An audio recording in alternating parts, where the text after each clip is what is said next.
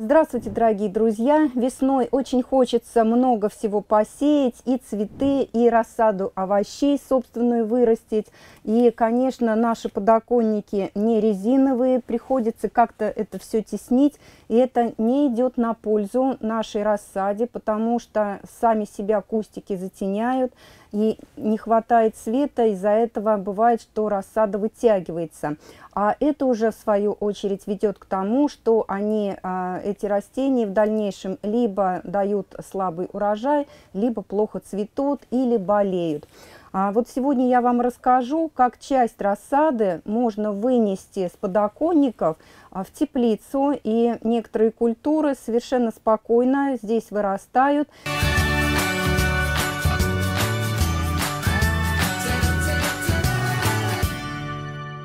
И э, получается очень здоровая, очень качественная рассада, потому что в теплице обилие света. Мы сидим сейчас в стационарной теплице, которая покрыта поликарбонатом, а можно сеять и в грунте. В грунте можно организовать такой ранний посев, если поставить дуги над грядочкой и укрыть их или спанбондом, или пленкой. Если пленкой, то здесь есть опасность перегрева, потому что э, нет проветривания, и в солнечный день э, температура там может подниматься очень высокая. А вот если укрыть нетканным укрывным материалом, то рассада там будет защищена и от э, холода, от заморозков, и в то же время будет очень хорошо развиваться. Я покажу, как сеять такие культуры на примере семян астр. И я взяла семена аэлиты. Вот посмотрите, сколько их. Они такие все яркие, красивые. Но самое главное, почему я выбрала эту фирму, потому что семена надежные. У меня ни разу проколов с ними не было. И всхожесть меня очень радует. Ну а теперь немножко о тонкостях посева и о том, почему а, семена могут не всходить. Первые правила для таких ранних посевов, чтобы семена всходили, это не сеять слишком рано, потому что многие торопятся посеять даже в марте, а у нас воздух в теплице прогревается на солнышке, а вот а, температура почвы еще очень остается низкая. И э, лучше сеять, когда почва прогреется хотя бы градусов до 8. А второй момент – это то, что вот есть холодостойкие растения, которые нормально переносят эти понижения температуры, а есть такие, вот как астры, циния, они могут страдать от этого. Представьте, вот вы посеяли в холодную и влажную почву, а после этого в марте месяце у нас наступили сильные заморозки, почва еще остыла. И вот эти семена, если они уже проклюнулись, то они могут там просто-напросто заболеть, загнить, вот у вас и нет всходов. Еще одно правило – это не нужно семена слишком сильно заглублять в почву. У меня есть одна хорошая знакомая, которая выращивает рассаду даже на продажу, и она говорит всегда о том, что семена надо сеять, их не нужно хоронить. И вот очень глубокую бороздку делать не нужно – и еще обязательно присыпать а, такой сухой рыхлой земелькой или компостом, или, или смешивать с песком. Можно взять даже какую-то покупную землю на основе торфа, потому что у многих это глина какая-то, и тоже образуется корка после, посев, э, после полива, и семена тоже могут не взойти. Вот эти все правила соблюдаем, и тогда у нас будут хорошие всходы. Итак, что нужно для посева? Естественно, подготовить бороздки. Я предлагаю делать это не поперек вот этой грядки, а вдоль нее. Тогда у вас основные культуры можно будет посадить так, что э, рассада астр ничуть не помешает. И можно их оставлять в этой теплице достаточно долго, пока вы точно не будете уверены, что в грунте уже не будет заморозков. Вот обычным плоскорезом, вот таким маленьким, мы э, готовим эту бороздочку. Можно прямо на протяжении питания э, всей этой грядки. Можно даже две бороздки сделать, если вы много а, сажаете сортов или если у вас много разных видов растений хотите посеять. Вот те же цинии, да, а, амарант можно сеять, а, вот так в теплице он тоже очень хорошо успевает. А, и вот в эти бороздочки мы будем раскладывать семена. Еще одно правило. Астры очень а, часто поражаются фузариозом. Это такое заболевание, которое передается через почву, через корни. И потом такое неприятное получается явление, а, что уже образуется даже бутончик у этой астры, и вдруг он повисает. И думают, что заболело само растение, а больны корни. И вот чтобы это заболевание не передавалось, нужно обеззараживать и почву, нужно обеззараживать и семена астра. Обеззараживание можно провести дома. Это точно так же, как мы обеззараживали семена томатов. Я показывала в одном из, ролике, из роликов. То есть это мы в каком-то препарате, на блюдечке, в какой-то мисочке все это делаем, обеззараживаем. Дальше семена астра надо немножечко подсушить, просто для того, чтобы их лучше было сеять. А, и потом обычным способом их сеять. Второй способ – это обеззараживание проводить прямо здесь, на грядке, то есть посеять и пролить почву каким-то фунгицидом. Если мы в теплице, где выращиваются овощи, лучше применять какие-то биологические фунгициды. Ну, а теперь немножечко я расскажу о семенах, которые я выбрала. Они замечательные и нужно о них знать. Для примера я взяла разные совершенно астры, а, так называемые грунтовые, ландшафтные, а, которые очень хорошо украшают сад.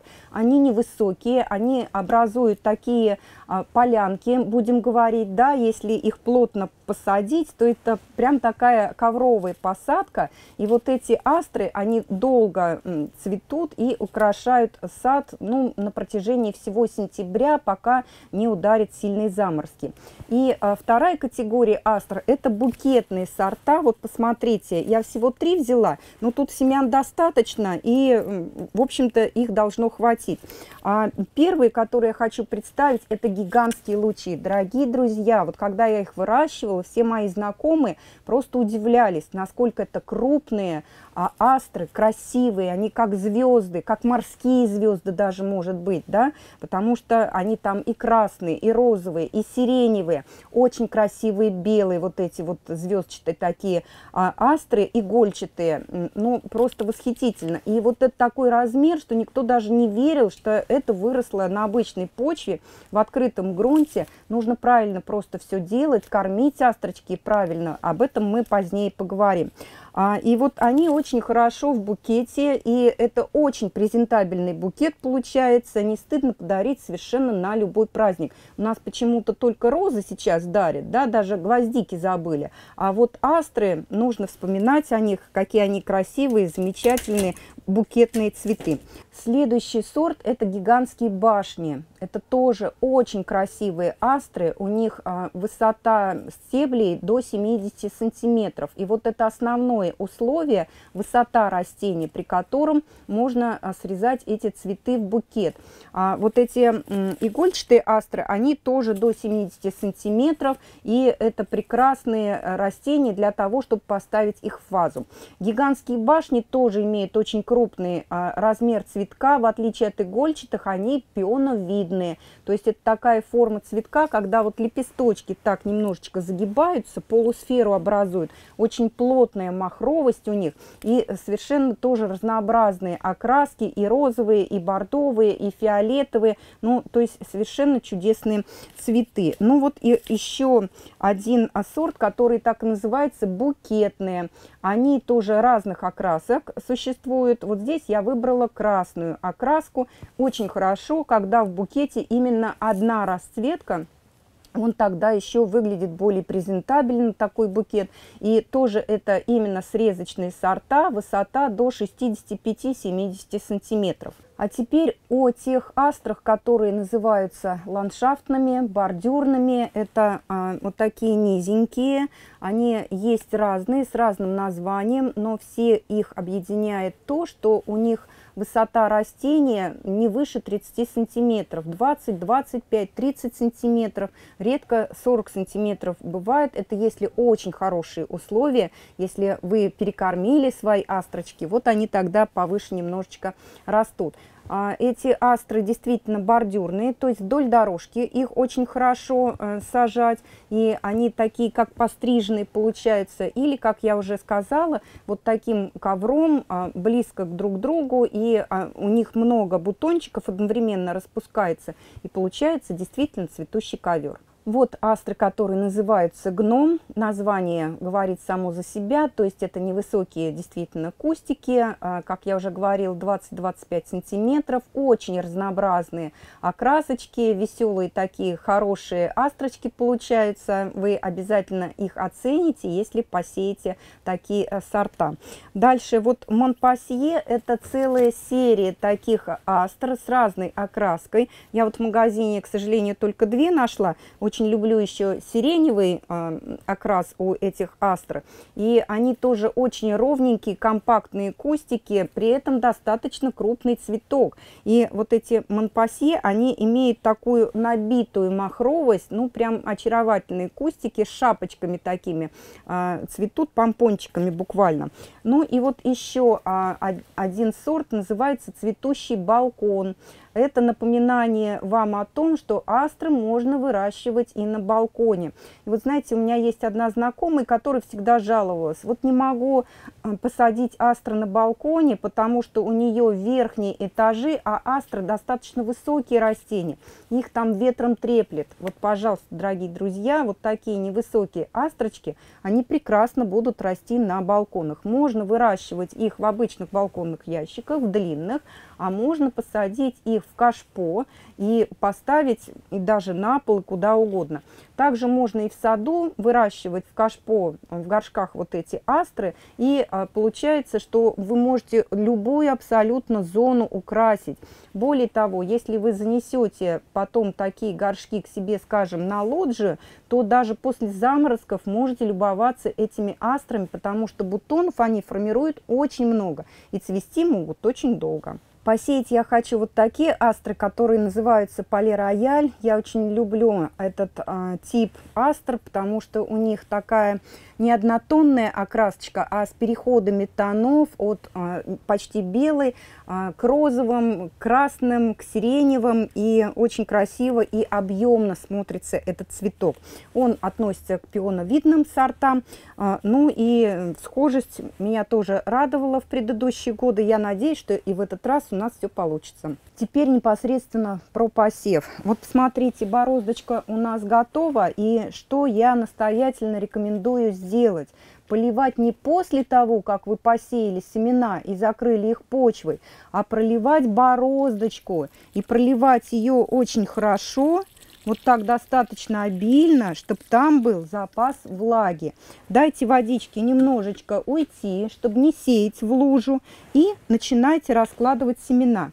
Я сразу ставлю вот такие небольшие колышки, чтобы знать, где у меня а, заканчивается один сорт и начинается другой. И просто берем и щепоточкой а, насыпаем вот эти семена. А с учетом того, что все равно схожесть, конечно же, не стопроцентная, но достаточно высокая, вот мы насыпаем эти семена. У меня даже еще осталось, поэтому я могу переместиться вот и посыпать еще туда. Загущенности нам не нужно допускать, иначе придется нам пикировать эти сеянцы. Вот таким образом мы посеяли один сорт, второй сорт и так далее будем сеять таким же способом. И у нас будут хорошие посевы. Теперь, как я говорила, закроем эти семена хорошей землей. Присыпаем совсем немножко слой почвы, вот этой хорошей, рыхлой, всего 0,5 сантиметра. Э, действительно, не нужно хоронить семена, их нужно сеять. И посмотрите, что у нас получается. Вот эта бороздка остается не до конца закрытой, и это очень хорошо. При поливе вода не будет растекаться. Осталось нам полить еще сверху. И посмотрите, я сейчас буду поливать всю площадь грядки, потому что здесь у меня уже есть кое-какие посевы. И поэтому не одна бороздочка будет полита, а вся площадь вот этой грядки. Обычным способом мы из леечки увлажняем. Ну а то, что у нас попадает здесь на астры, очень хорошо в бороздочке и остается не растекаясь. Итак, посев у нас завершен. Сорт от сорта мы отделили колышками. А посев несложный и занимает немного времени. Мы больше разговаривали, чем сеяли. Ну и последнее. Для тех, кто уезжает из сада на целую неделю и приезжает только по выходным. Как сохранить влагу? Вот смотрите, до прорастания пройдет минимум дней 7, и на это время можно накрыть грядку каким-то материалом. Идеальный вариант это какой-то спанбонд, лутросил, можно не очень плотный, а, чтобы у вас даже и поливать можно было через этот э, укрывной материал. Но у кого нет таких материалов, вот смотрите, это старенькая занавесочка а, от ванной, и можно накрыть это там влага будет э, задерживаться дольше, и ваши семена обязательно прорастут. Ну что ж, дорогие друзья, я желаю всем хорошей, крепкой рассады, и у вас обязательно будут такие прекрасные цветы, если вы последуете вот этим несложным советам. Я взяла только семена э, в магазине, который у нас был поблизости. Конечно же, это не весь ассортимент, что есть у фирмы Аэлиты, там огромное количество а, и видов астра, и пионовидные, и вот такие игольчатые, и низкие, и высокие, и совершенно разнообразной окраской. Есть потрясающие двухцветные сорта, у которых а, белый чередуется а, с ярко-малиновым или сиреневым. И вообще это астры, я, я считаю, просто эксклюзивные. Так что выбирайте те сорта, которые вам понравятся. Ну а способ посева, вот он одинаковый для всех. Желаю, чтобы вы радовались таким чудесным цветам и ставили домой прекрасные букеты.